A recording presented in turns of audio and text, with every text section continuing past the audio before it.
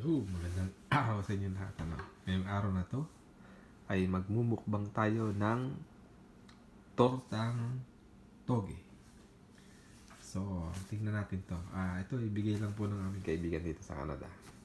So, kailangan natin ng sausawan, ketchup, banana ketchup, at saka itong ating panghati. Ano? So, ang, lam, ang, ang niya ay nilagyan, nilagyan siya ng carrots, So, nilagyan siya ng carrots.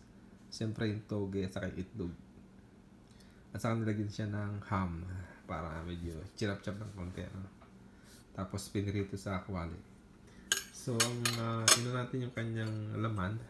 Para din siyang uh, omelette.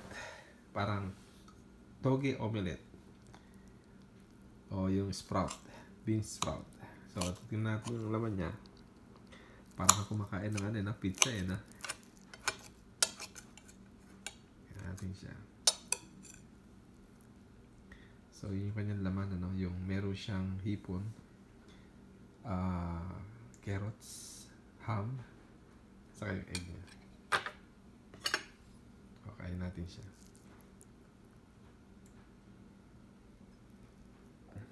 So natin dito. Saka meron siya asin. Tingnan natin. Hmm. Ayos siya. Saka ano siya, mas ano siya, no, yung uh, healthy. Hmm. So, ganun lang.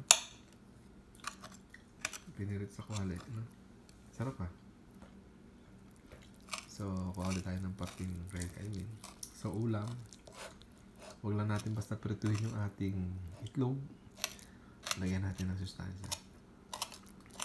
Medyo crunchy yung ano niya, no? Ito.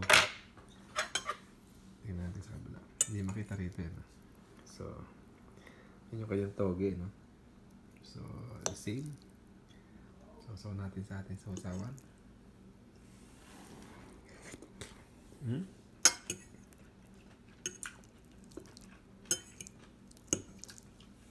Parang meron, meron siya konting asin. Ah, pang uh, chicken broth mix powder. Ganyan. Mm. Ganito na siguro. Thank you for watching. Tortang Togi. Bye-bye.